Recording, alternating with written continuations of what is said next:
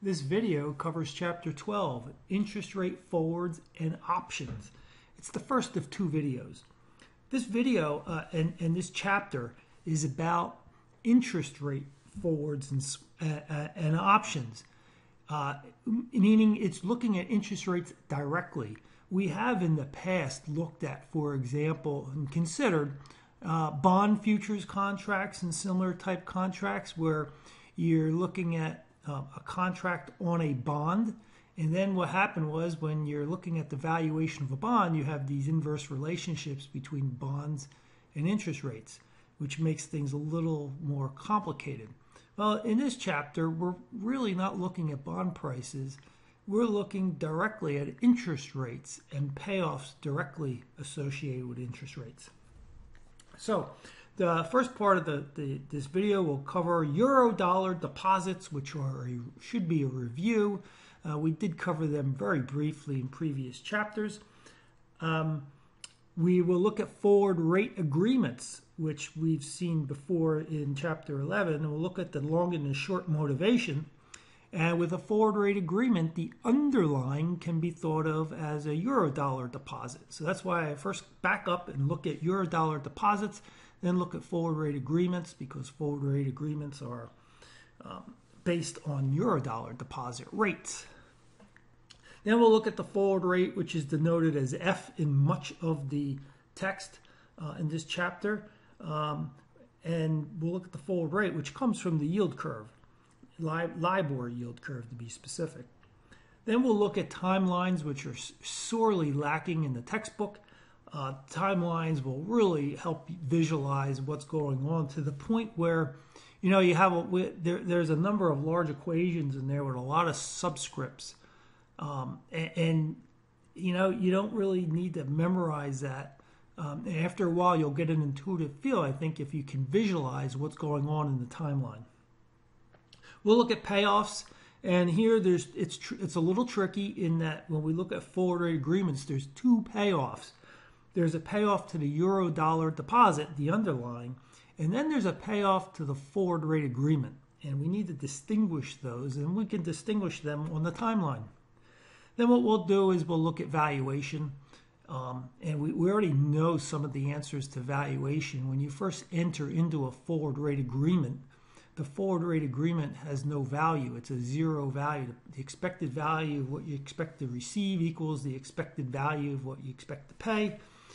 Uh, and, and and that's that's because we're you know you're you're picking off interest rates that come from the yield curve, and the yield curve determines the interest rate that you expect to receive or pay, and you set the forward rate accordingly. Now, um, so so it's pretty easy to see that a forward rate when you at inception a forward rate contract is is zero, just like when you entered into a, a forward contract on corn uh, you know, back several chapters ago, the, the forward contract was worth zero because the expected value of the corn that you that you expected to receive was what you expected to pay. So the net present value, so to speak, is zero. Well, the valuation technique and issue comes into play when you have a forward contract that's already existing and you want to value it. For example, you want to um, value it to to record it on your balance sheet. So when you first enter into a forward rate agreement, there is no balance sheet entry, so to speak. There's no balance sheet effects um, in in net net balance sheet effects. There's an asset and there's a liability, but they net to zero. But when you have a, a contract, you lock in a specific interest rate, and time goes by, you have a gain or a loss, which means your asset and your liabilities are not quite aligning up equally, which causes your gain or loss. And so um, we need to look at valuation with respect to interest rate um, contracts. Okay, let's start off looking at euro dollar deposits briefly, which we've seen before. Euro dollar deposits are US dollar denominated deposits held in a bank outside of the US. It could be any country outside of the US, but we'll focus on, U on the UK and specifically London because that's the world, one of the world's financial centers and so the interest rate associated with the deposits that we'll be looking at is LIBOR. And so LIBOR is one of the most popular interest rates in, in the world, um, and it reflects economic activity uh, in the in the financial markets, and it's very liquid. So by convention, most interest rate derivative contracts are based on LIBOR. So what we want to do is look at what how your deposit kind of works. So you have basically a time period. So when you have a euro dollar deposit, there has to be a time period in which the money is being held. And so um, the, the euro dollar deposit uh, works off of what's called LIBOR um, interest rate calculations, which is an add-on rate. And what we mean by that is you take one dollar invested, dropped into a, a deposit, and what will happen is you'll get paid back the LIBOR rate, which will denote L. And if the period, the maturity period, M for the deposit, here's M. M covers that whole period, which is a fraction of a year. Most of these deposits are, for example, 30 day, 60 day, 90 day, 180. Um, we often, in, in, in trying to teach this material, use 90 and 100 day periods by convention. It makes it easier to do the calculations and get comfortable with. But there could be other other day periods there. Okay, and so um, this is how the interest rates work. So you you deposit a dollar, and when things when it matures, so there's the dollar gets paid here. When the deposit matures, you get paid this whole amount. And so if if LIBOR was 4%, okay, and M was equal to 90 days, then we would get, we drop in a dollar and we'd get the 0.04 times 90 over 360 and we would end up with a dollar one, or sorry, dollar four. We'd end up with a dollar four payoff at maturity here of the euro dollar deposit. That's called the add-on method. It's a little just for a step back. You don't you shouldn't really uh, pay attention to this at this moment. But if you're wondering, well, why? What's the add-on method compared to another method? There's discount methods where you would look at the payoff here and discount it backwards to figure out what the payment would be. These euro deposits are. This is the LIBOR convention. Take the deposit amount and add the interest, and that's your payoff. Okay, so now let's look at um, forward rate agreements. Okay, forward rate agreements.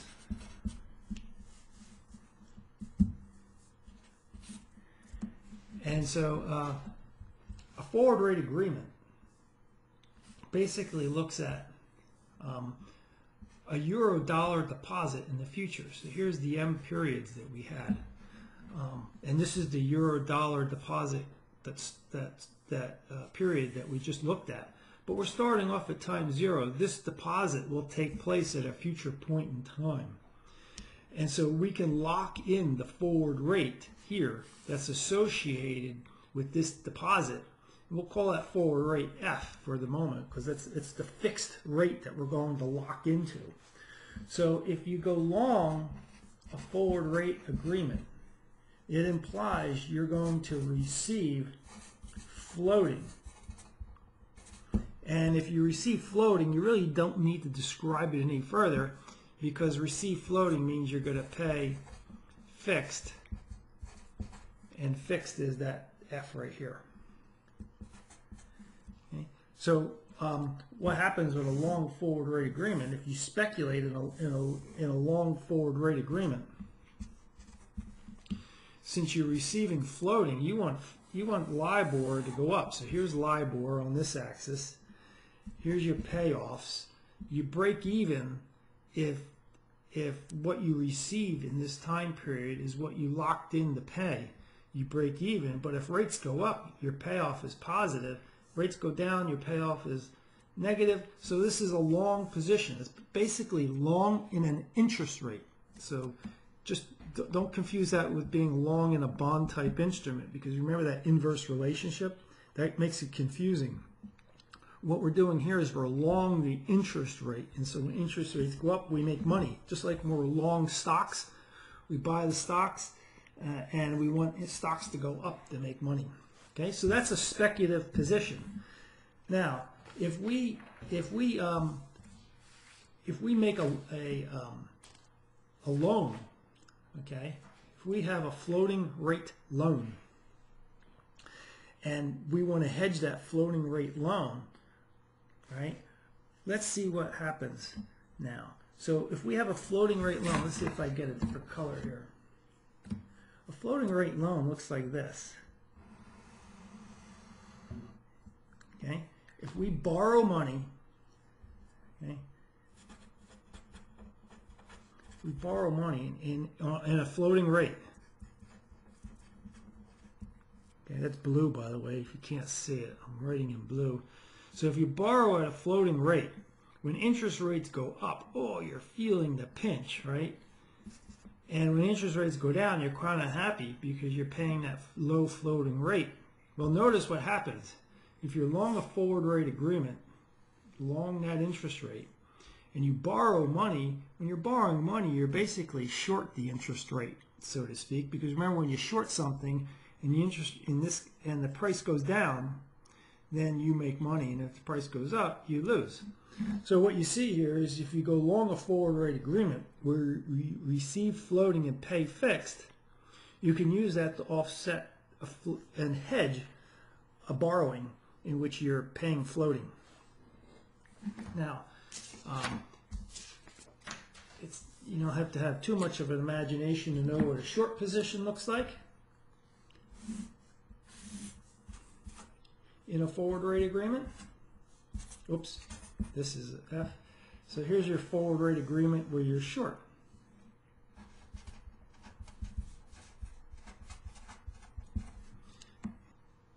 That can be used offset or to hedge. So this would be the speculative short forward. Can be used to hedge a, a loan that was extended at a floating rate. So if you extended a loan, made a loan to somebody at a floating rate, and interest rates fell, you wouldn't be too happy you made that floating loan. Uh, but with the forward rate, short a forward rate agreement, the two offset each other. Okay, so that's the basics of um, euro uh, uh, forward rate agreements from a long and a short position, and the motivation form that you can speculate or you can use them for hedging purposes. Now, what we want to do is let's look at the timeline associated with forward rate agreements because you know the textbook it, it's to me it, it's just dying. It's begging for a, for the author to put in a timeline so um, it would make some of the math and the notation around the subscripts, for example, and and um, the time timing convention and the payoffs um, to, to make that more concrete. Uh, the, the text should have a, a timeline. So what I'm going to do is I'm going to put show you a timeline. So the timeline works like this, and I spent some time actually draw one in the notes electronically. So what we're going to look at is we're going to look at an A by B forward rate agreement. And that's the convention, the way they're usually quoted. You talk about a forward rate agreement. Um, you're talking about an A by B, and these are usually designated in months, forward rate agreement. So let me actually draw this before we get any further.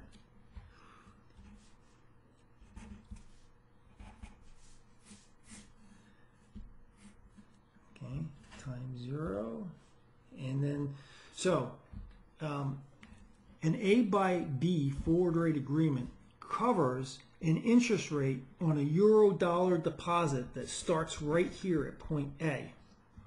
And the euro dollar deposit matures right here, okay, at point B. Okay, so this whole period right here is covered by B months. So when you see a forward rate agreement quote that's an A by B, you know it starts this many months into the future and the euro dollar deposit covers this time period and in days as designated as M, maturity in days. Okay, so what happens is you enter into a forward rate agreement here. You start a forward rate agreement, and it starts forward. Okay, and so that's why it's called a forward rate agreement. You're locking in rates here into the future, and you're locking in, you know, a forward a forward interest rate. Okay. Now, um, recall that I just told you that the euro dollar deposit pays off here. Okay. That's the euro dollar deposit payoff. Now remember, a forward rate agreement, the underlying is this deposit. Okay? So the, the, the, the, the underlying pays off here, but the structure of a forward rate agreement is the forward rate agreement pays off at point A. Okay? And the payoff for this forward rate agreement at point A is is this. It's going to be, think of it this way, is the notional value because you, um, you got to have a certain contract size, so to speak. And then you have to have a certain number of days in which you're covering that. But let me, let me um, write this out here. So you're going to look, you're going to get L, the floating rate, okay? In, in this case, you're going to get L, the floating rate and you're locked in to pay F, the fixed rate. Okay, and so um, you need to adjust that for the M days that you're going to be paying that this deposit works. So, so what happens is you're going to look at the difference between the fixed rate that you locked in, the fixed and the floating rate that you're receiving here on a on a long forward rate agreement, right? That so right here, right here is the payoff at this point B. Okay, that's the payoff for the underlying.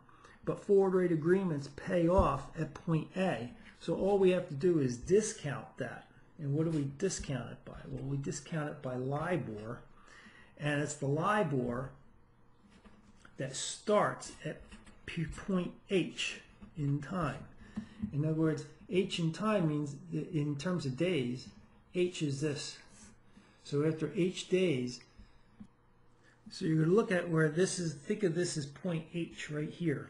And so the spot rate at this point in time that covers this M period is what you're going to be discounting it for over the M period. M at a 360, the 360 convention as 360 days per in a year, and each month as 30 days. So that is the spot rate that starts at point H right here at the point A. And it's H days. Uh, so what's confusing about it is, and this is just the nature of the, of the beast, is that forward rate agreements are often specified in terms of months between the A and the B, but when you start calculating values and payoffs, you need to do things in days. And that's that's why you have a, um, a, the alphabet system here. So again, to summarize, take a look at this. You start off at time zero, you enter into a forward rate agreement, and often you enter into a forward rate agreement because you're going to borrow sometime in the future. You don't know what interest rates are going to be, or you could be lending money sometime in the future. Okay? So you want to offset that, then that's what a forward rate agreement can do for you, is offset uh, the, the risk associated with unknown interest rates that start in the future. So this is the notation and the formula for the payoff for being long a forward rate agreement. Okay, so notice you make money when interest rates go up because there's a positive sign in front of that. The negative means you're locked in to pay a fixed, F is a fixed or a forward rate. So the payoff on a short forward rate agreement is the notional value times uh, F minus the floating rate LIBOR. So you're paying the floating, that's the negative sign. You're receiving the positive fixed. Put a little positive sign if you want. Um, but you need to adjust it for the length of the euro dollar deposit, the maturity, and there's the there, there's and it feels like the add-on interest principle here, LIBOR. And then you have the your the um, the spot rate that starts at period H. right here again. Starts at period H and goes through at period M. So we need to discount it for that time period. Now let's jump right into an example. And on page 5 of my notes, it starts describing a problem. It says, suppose you go long a 3 by 12 forward rate agreement with a locked-in rate of 3%. The notional value is $5 million, and at expiration of the forward rate agreement, the 270-day LIBOR turns out to be 2%. What is the payoff to the forward rate agreement? What do you receive? When do you receive the payoff? Okay, so the, the question begs a timeline. Okay, start off at time zero. This will be 12 months from now. The forward rate agreement um, here this will be the payoff to the forward rate agreement right here. So this is a 3 by 3 by 12. Okay, and here's the three months. Here is the nine remaining months. So that's M equals 270. And this is H, little h, equals 90. Okay, so we got the days set up. The days add up to 360, which uh, equals uh, 12 months. And um, we know the payoff to the forward rate agreement will be here. Okay, and that payoff is a function of the payoff for the euro dollar deposit, which pays off here, and we discount it back to month three in this case. So um, the numbers will be uh, the notional value, so the payoff here, will be the notional value of $5 million times the two percent. That's what that's what the uh, the 200 day lot 270 day LIBOR at this point covers uh, is, is based is a two percent interest rate according to the problem. It turned out to be two percent. We locked in three percent in a long forward rate agreement, so we locked in to pay this. And then we need to adjust it for, remember, interest rates are always on an annual basis, and so we need to adjust it for the, the time period, this time period here, for the euro dollar deposit. So that is the payoff right here. This right here is the payoff to the euro dollar deposit at the end of that period. But what we need to do is we need to figure out the payoff to the forward rate agreement, okay? And that's simply discounting this whole thing by 1 plus the 2%, that's the interest rate that applies to this period, adjusted for the 270 day period. Okay? And so when we do that, the whole thing equals um, minus 37,500. Okay, so you ask yourself, does that make sense? Um, oops, this the top part of this. Watch out here. The top part is 37, 500. And so when you discount it with this factor in there, it's minus 36, 946. That's the forward rate agreement payoff. Okay. So this is this is just the top part of this fraction. And when you discount it, really the, the payoff is 36 negative 36 946 and so you ask yourself, does this make sense? And uh, sure, it does. You've locked in to pay 3%. Um, you were hoping, remember, you were hoping that rates actually went up, but they didn't. Rates went down, so you lost a little bit, uh, according to that payoff graph that I showed you earlier. Now, the next question is, can the example is continued? And the continuation says, what is the forward rate agreement worth at time t? At time t equals three months. Okay? If you expect at time t equals zero that 270 day LIBOR will be 3% in three months. Woo! Okay, what it's saying is here. This is what that question is saying. And the answer is quite easy. It's saying you form expectations. You're sitting right here, right now. Um, t equals zero. What are your expectations? Um, And so you're looking at, so what is the forward rate agreement worth at time t equals 3? So what is it worth? In other words, what is the payoff here? Um, when you, if you expect 270 day LIBOR, right, to be 3% in three months. So remember, we locked in, we locked in 3%. Well, if we locked in 3% and we expect 3%, well, the, the forward rate agreement is, is properly valued, is really what we're saying.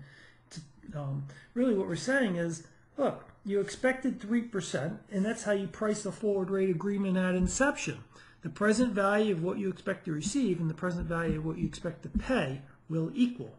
So therefore, mathematically, the payoff right here is the $5 million times 0.03 minus 0.03. Lock, this is the locked-in rate, and this is the rate you expect to receive. Adjusted for time, then discounted. Again, discounted at the rate that applies. 360 divided by 3 six, oh, two, 270 divided by um, 360. That's 270 divided by 360. And that whole thing comes out to be zero because this is zero. So you didn't really didn't have to do any of the math. And so what is the value? The value of the forward rate agreement is zero at this point in time. And so if the value of the forward rate agreement is zero here, it's got to be zero here also. Now, let's go uh, to work another problem. And it says, um, assume you shorted the forward rate agreement above. Okay, so let's say you short instead. You went short the forward rate agreement above at 3%. And the 270-day LIBOR rate in three months turned out to be 5%. What would be your profit or loss on the forward rate agreement at expiration? In other words, at t equals 3. Okay, so the timeline again. 0, 3, 12, now we're short a forward rate agreement at 3%. So we basically locked in 3% here. That's what we just locked in as F. Okay, and then what happens is we start, so we lock in at this point, we go through time, and at this, when we get the T3, we find out that the actual rate is 0.05, 5%. And the actual rate is 5%. So what's the payoff? Well, the, two payoffs technically. There's the payoff to the euro dollar, and that's going to be 5 million times the 0.03, because when we short, remember when we short, we're going to collect this 0.03. We locked in paying the, the floating rate, and it's going to be adjusted for the fraction of a year that this period covers, the euro dollar deposit covers. Now, so that's the payoff here. Now, the overall payoff at period three is nothing but the present value of this. And that's the 1 plus 0.05, the actual full, the actual rate here, adjust for 270 over 360. And so this value comes out to be 72,289 negative. Negative, let's see, does that make sense? Well, remember, we're, sh we're short a forward rate contract. In your head, you should have this picture in your mind. And it should be centered here at the break-even point at 3%. And when rates go up, we lose. So that accounts for the 72,289 negative sign. Now what we want to do is we want to see where that locked in forward rate comes from. F that we've been talking about. The formula in the text is kind of big and ugly, but we'll um, let's let's look at it. and We'll derive it. So the forward rate that we're looking at that gets locked in is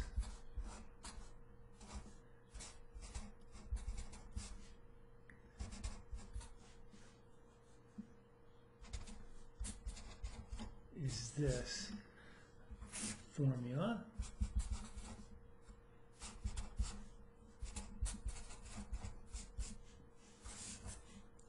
Oops minus one there. And then whenever you see whenever you see the multiplication of 360 over m, that just means you're annualizing it. Because remember, these rates here are annualized. These are spot rates starting from today. Okay? And we're looking at um, an entire lifespan from period H all the way to the end, and this covers um, this is the euro dollar deposit area space, and then M covers that time horizon. So this is also H. This is H, another way to describe it. And so um, this is the, the yield curve, or sorry, this is the LIBOR spot rate starts at time zero and looks out and sees, okay, what is the rate that covers this entire time span? Okay, and you need to adjust it for the fraction of a year that this time span covers. Okay? And then what you're going to do is you're going to divide that this top spot rate by the spot rate that starts right here that only covers through period H. Okay? That's what the H is here standing for.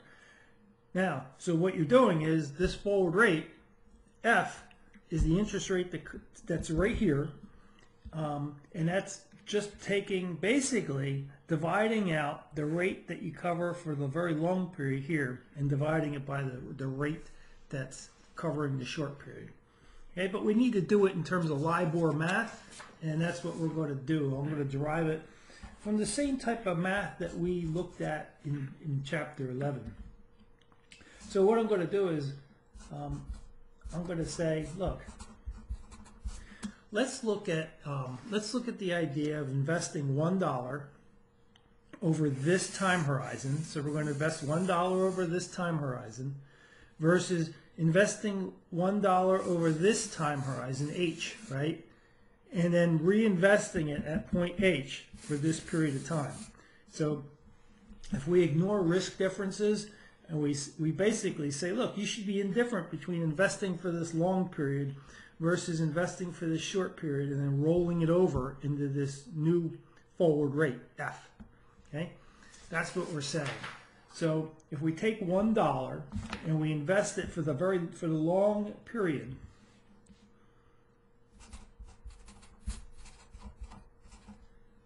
okay, this is what we're going to get. We're going to get we're going to earn this amount for that long period. That should equal one dollar invested uh, for the short period, H.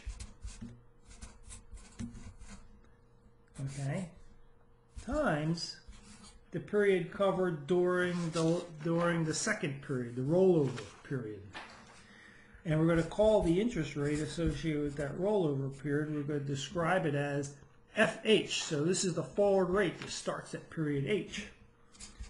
Covers M for M periods of m over 360 fractions of a year. Okay, so that's the, that's basically the formula.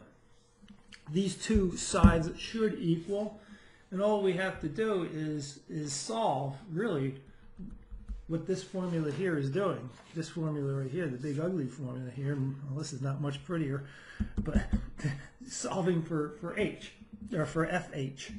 Okay, so you know the ones cancel out, that makes it easy. Um, so what you do is you take this whole side right here, right here, and divide it by this side, okay? Because, it, you know, basically math, um, this is A, this is B, this is C. We're saying A divided by B equals C, okay? Right there.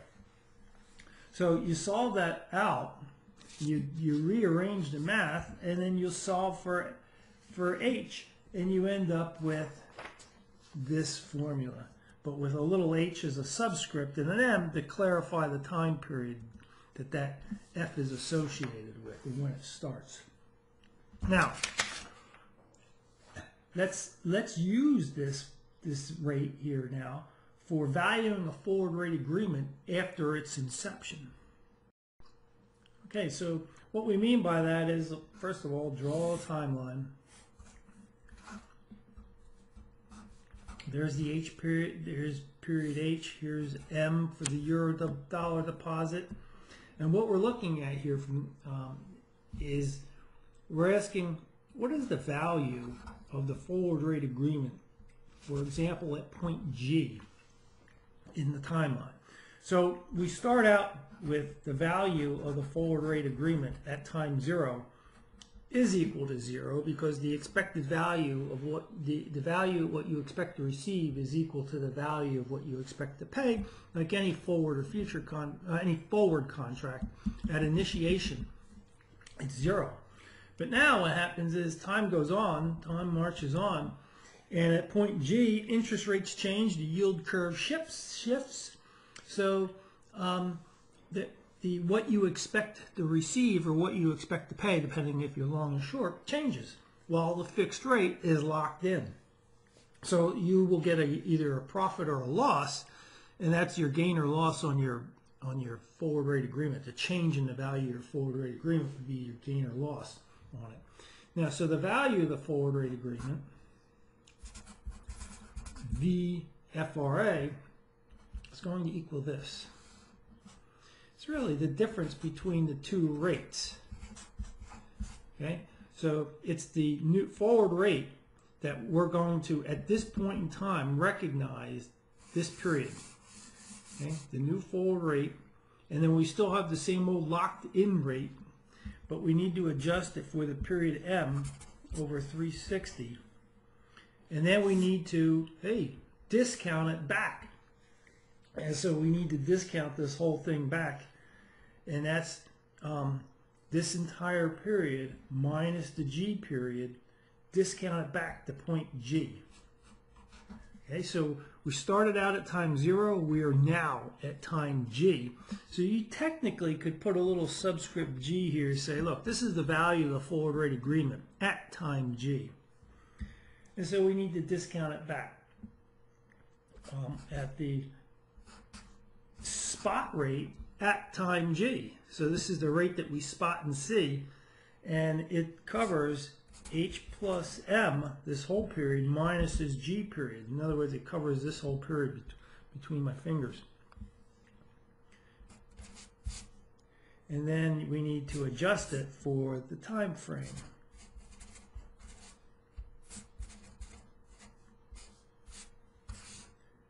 And there you have it that's the difference. So really, what it boils down to is the, your your gain or loss on the forward agreement is the difference between your locked-in rate and your new full new forward rate, and then you got to adjust it for the time frame that you're looking at, and that's where nearly all this junky notation comes in, is trying to keep track of all that those time frames. So let's do an example. Suppose you enter a long position in a forward rate a long position in a 2 by 8 forward rate agreement. Notional value 10 million. Okay? The forward rate starting in 60 days and ending in 240 days is 4%. So the price you locked in is 4%. Now assume that 40 days have elapsed. Okay? The yield curve is at the 40th day. Okay? Uh, at the 40th day, G equals 40, reveals that the spot rate for the next 20 days is 3%. So I think what we need to do is map this out here. Zero, um, we have the period H, and this covers, let's see, this was kind of not the scale, but that's 60 days, and this is um, 8 times 30, 240 days here. Okay, um, the forward rate at this point, this is 4% that we expect covering this, this time frame. Here we have a $10 million notional value. And so now what happens is um, at day at G, 40. This is G equals 40, 40 days right? It says, okay, now the, the spot rate for the next 20 days is going to be 3%, okay? And the spot rate for the next 200 days, let me draw it down here, the next 200 days is 5%. Okay. Now, um, compute the forward rate that starts in 20 days. So remember, we're right here. What is the forward rate that starts in 20 days? Oh, I should put a little subscript zero here because that's the rate we're, we're locking, we've locked in. But what is the forward rate that starts in 20 days, right? And then ends 200 days, or ends all the way at day uh, 240, okay?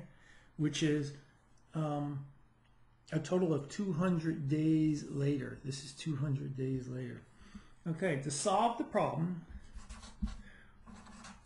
the forward rate, we're going to calculate the, so that's the first thing we need to do, is we need to calculate the forward rate so that we can feed it into this formula. We're really calculating this FG. And that is F40, and it covers 180 days. Okay, there's 180 days right there, equal to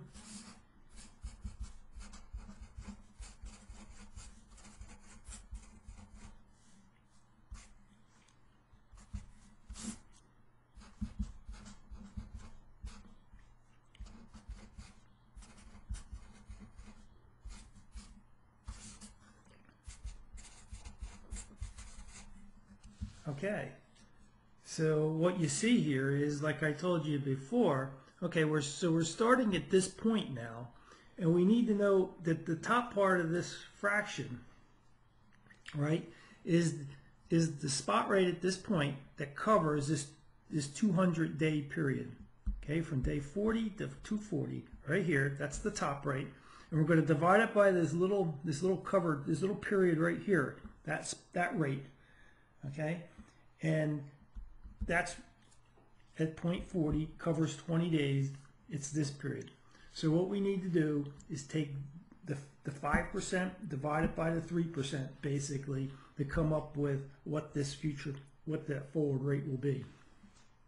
And when we do the math it comes out to be um, let me write it out here. Kind of, kind of long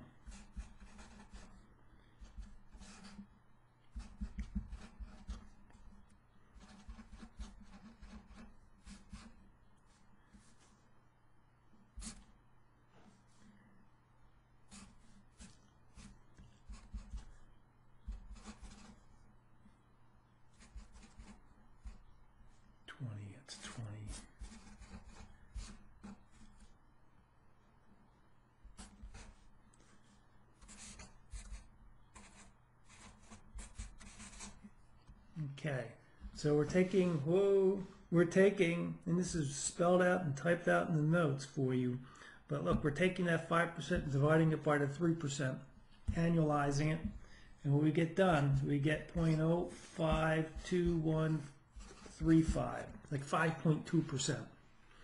Okay? So, in other words, um, 5% is, is equal to investing at 3% here and then rolling it over and investing it for 5.2% over this period.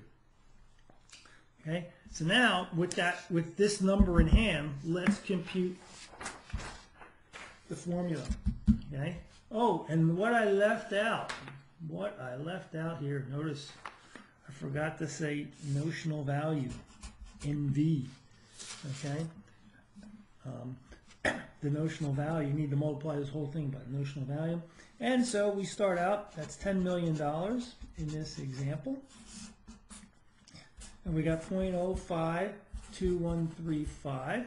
So we're long this forward rate agreement. We're locked in to pay with the negative sign, 0.04. It's for a half a year is the underlying uh, Eurodollar deposit period. and now we need to discount that back by, remember, the payoff starts here. We need to discount it back um, M and then H, this, this period. So basically 200 days is what we need to discount the whole thing back by. And that'll be 1 plus 0.05, the 5% that covers this period.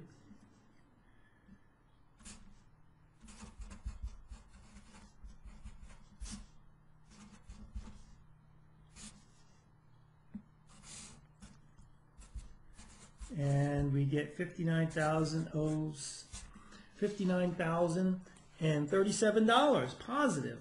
And so we ask ourselves, you know, does this make sense? And so, you know, you locked in four percent. According to your calculations, the, the interest rates went up. And so now they're up 121 basis points higher than what you had originally locked in. So the whole yield curve had shifted up. And so if you take that 121 basis points, multiply it by $10 million, adjust it for a half a year, multiply it by half, and you get about $60,500 be- before you discount. So in other words, um, this whole fraction right here, the 10 million times the difference in rates multiplied by two comes out to be about $60,500. And now discount it back by the 5% rate, and you get $59,000 for the payoff. We are now at the end of video one for chapter 12. And just one piece of advice before I end the video. So what you don't want to do is, is rely 100% on those formulas. Because if you do, you're going to get into a quiz or an exam, you're going to look at the problem and you're going to be unable to translate the problem into the formula. And in which case you're going to be in trouble. So don't rely on the formulas themselves. Make sure you get some intuition, visualize the problem, and it makes it a lot easier to solve for. And then ask yourself, is the answer reasonable given the situation? And there's ways to back into it roughly like I have shown you.